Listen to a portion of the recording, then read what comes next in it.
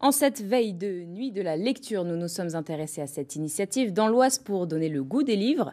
La médiathèque de Beauvais met à disposition depuis décembre certains de ses ouvrages au bistrot, au, de pays. Les clients de passage peuvent ainsi lire sur place ou l'emporter chez eux, l'occasion de promouvoir la lecture.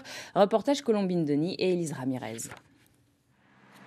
Un bistrot dans un petit village de l'Oise, l'unique commerce de la commune. On peut s'y restaurer, bien sûr, boire un café ou acheter ses timbres, et depuis peu bouquiner. Voilà notre petit coin euh, bibliothèque. Donc vous avez euh, tout un échantillon de livres. Vous avez des livres sur la randonnée, vous avez des, des polars. Dans des petits pays comme ça, il y a des gens qui ont du mal à bouger et, ils seront certainement euh, contents de pouvoir découvrir ça.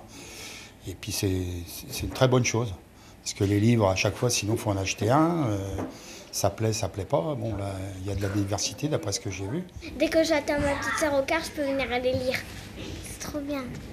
Les clients sont invités à piocher dans les caisses librement. Charles-Édouard, le gérant du bistrot, a accepté volontiers de faire une place à une cinquantaine de livres dans son établissement. Aujourd'hui, c'est vrai qu'on est toujours multi-connecté, euh, ultra connecté en permanence. Si au moment de la pause dans un bistrot, on peut juste se déconnecter une heure, euh, et puis euh, plonger les yeux dans un bouquin plutôt qu'être toujours euh, les yeux rivés sur l'écran, je pense que c'est positif et c'est une petite victoire. Sortis des rayons des 217 bibliothèques de l'Oise, des centaines de livres de tous les genres échouent ici à la médiathèque départementale. Au lieu de rester enfermés, ils vont donc repartir à la rencontre de nouveaux lecteurs dans les bistrots de pays. Ces livres-là ne vont pas disparaître euh, définitivement. Ils vont servir à d'autres, ils vont être prêtés, ils vont voyager. Euh. Donc ces bistrots de pays, on espère qu'ils vont nous y aider en tous les cas.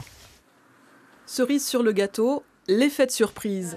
On ne sait jamais sur quel livre on va tomber, à lire sur place ou à emporter, et l'histoire continue.